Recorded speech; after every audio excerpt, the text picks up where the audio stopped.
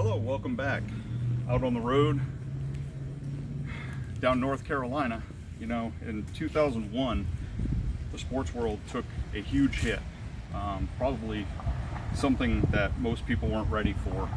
Um, no one was really expecting a true legend to pass on. And I was a, I've been a fan for a long time, and it the strain the hard part is that it hit more than just the racing community. It hit uh, people that were swimmers were wearing the the hat. People that were in basketball teams were wearing the hat. Um, it didn't matter what the sport was. He transcended everything. We're out here in honor of the legend of Dale Earnhardt. And this legacy memorial park is set up for him. Um, in 2001, it was put best by Bill France Jr. and said, uh, we lost Dale Earnhardt. That was the only way he could describe what happened. And I don't think that anyone could have put it any better given the situation. The world wasn't ready for it. Racing wasn't ready for it. We had lost Kulwicki. We had lost a number of racers off track, but we never had a tragedy on track like this before. Um, I believe it was Cannonball Roberts that went over the turn three wall in Daytona and uh, crashed his car. I believe that was what the end of him was.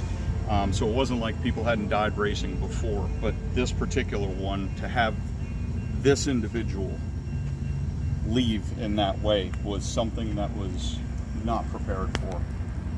You can still kind of feel his input around. Um, there, there have been plenty of stories that have come out about the man behind the car and the menace. And one one of my favorite ones was a church in the area who was trying to get their parking lot paved. And Dale Earnhardt came up and said, how much is it going to cost? And he stroked him a check right there.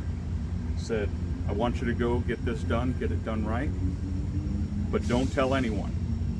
If you tell anyone that I financed this, I will come back myself with a bulldozer and rip the asphalt up. He wasn't doing it for fame and fortune. He just wanted to help people out.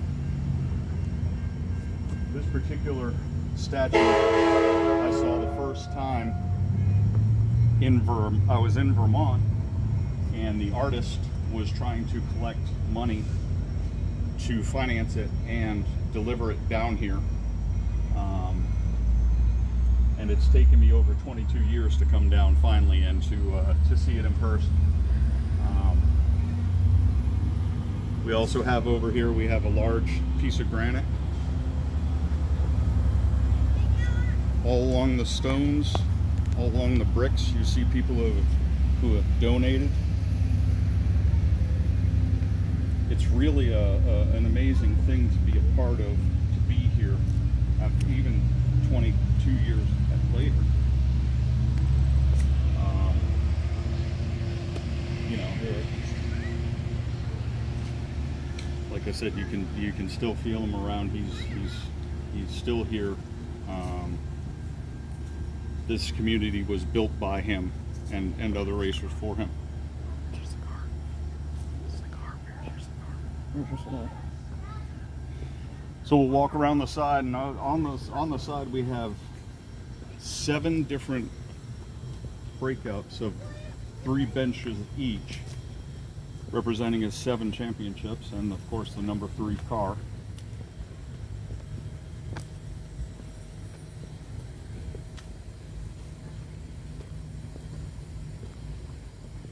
You know, when in an interview, Dale Earnhardt had said, if I die on a racetrack, don't mourn me but so long. The true tragedy is if I was to die in my pickup truck going to get a haircut. There's something very prophetic in that. Um, but, uh, you know, that's that's the way he lived. That's the way he thought, and I I agree with it personally, totally.